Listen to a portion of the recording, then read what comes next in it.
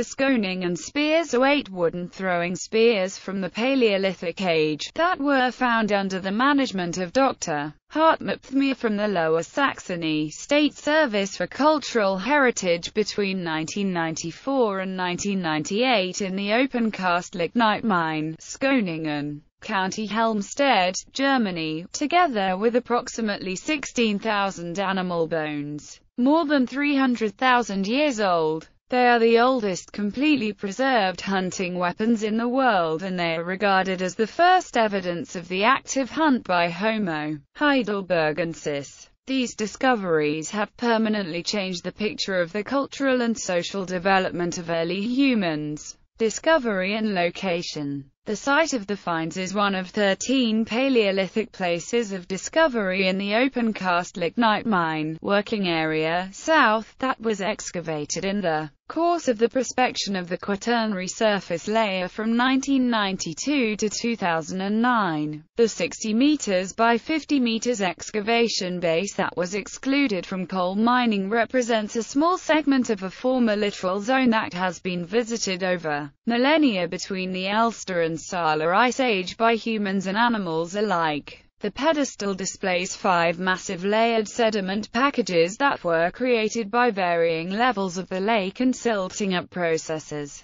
Thanks to the quick, airtight covering of the archaeological layers by mud, the organic materials are exceptionally well preserved. In the sequence of the sedimentary layers, climate changes can be read with a high resolution, from a warm, dry phase to airy deciduous forests to tundra. The spears themselves are from an approximately 10-meter wide and 50-meter long strip, parallel to the former lake shore in the sedimentary layer 4, the late Holstein interglacial. The archaeological layers beneath have only been partially excavated and have been an objective of a research excavation by the DFG since 2010. Together with the spears, some stone artifacts, chips as well as over 10,000 animal bones were found, amongst them 90% horse bones, followed by red deer and European bison. The horse bones come from Equus mosbacensis and are indicative of at least 20 individuals.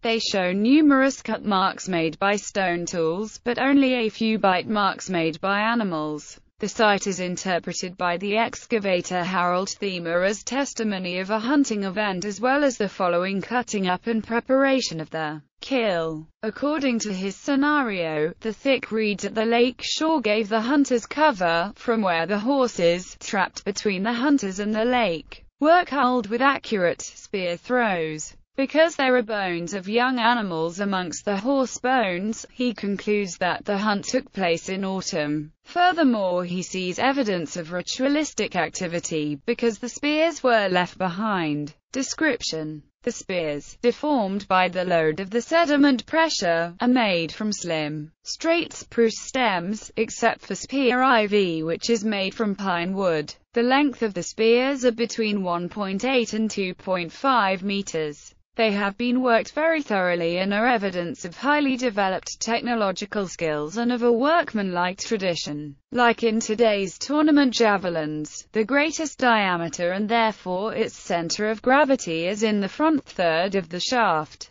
The tips are worked symmetrically from the base of the stems, and the end of the tips were worked beside the medullary ray, the weakest part of the stem, on purpose. In their throwing qualities, the Schöningen spears are equal to modern tournament javelins. During tests, athletes could throw replicas up to 70 meters. The choice of the wood is likely to be climatically determined, because during the cooler climate near the end of the interglacial, conifers grew close to the site of the finds. Other discoveries more unique wooden artifacts were found at the place of discovery of the wild horse hunting camp. A charred wooden staff as well as a wooden tool, tapered at both ends, interpreted as a throwing stick. The stone tools at the place of discovery consist of different scraper-shaped and pointed forms. Evidence of blank production is missing. Much retouched debris proves the reworking of the brought along tools.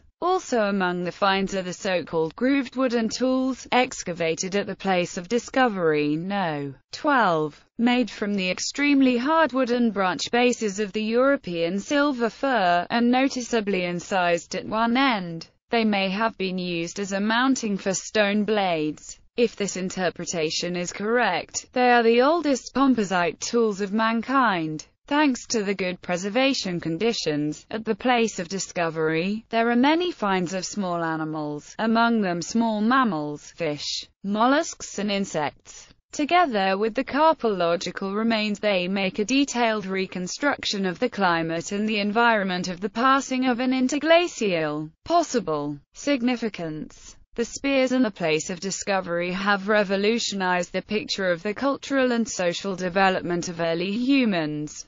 Previously, the widespread opinion was that Homo heidelbergensis were simple beings without language that lived on plants in carrion. The spears and their correlated finds are evidence of complex technological skills and are the first obvious proof for an active hunt. It seems that H. heidelbergensis could hunt herd animals that can run faster than a human, and this suggests that they had sophisticated hunting strategies a complex social structure and developed forms of communication. H. heidelbergensis therefore already had intellectual and cognitive skills like anticipatory planning thinking and acting that so far have only been attributed to modern man. Since 2010, the excavations on top of the excavation base continued in the framework of a project by the Lower Saxony State Service for Cultural Heritage in Hanover and the Eberhard Karls University Tübingen. Department of Early Prehistory and Quaternary Ecology of the Institute of Pre- and Proto-History and Medieval Archaeology, supported by the Deutsche Forschungsgemeinschaft.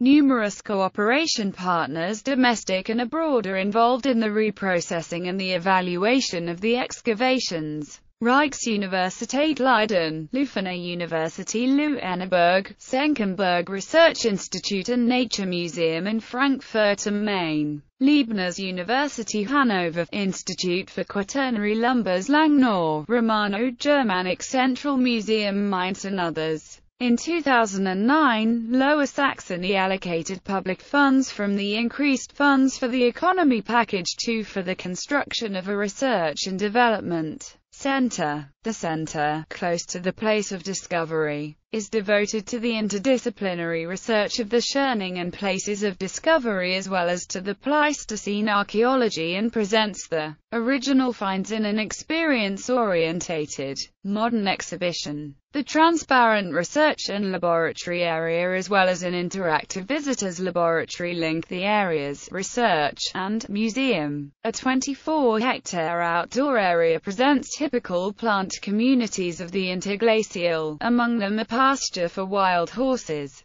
The place has been planned as an extracurricular place of learning. The building contractor was the town of Schoeningen. Responsible for the conception and contextual planning was the Lower Saxony State Service of Cultural Heritage. The center was opened at the beginning of 2013. Controversy Archaeologists at the University of Tübingen have questioned some of the initial interpretations of the site. Isotope analysis and wear patterns on the horse's teeth show a wide variety of habitat and diet amongst the animals, indicating that the faunal assemblage accumulated in many small events, rather than one large slaughter. Sediment analysis shows that the red color previously thought to be a result of hearths and burning are actually iron compounds forming as the lake levels dropped in recent times. Lake algae, sponges, and small crustaceans found in the sediments show that the spears were never on dry land and that the deposit has always been submerged.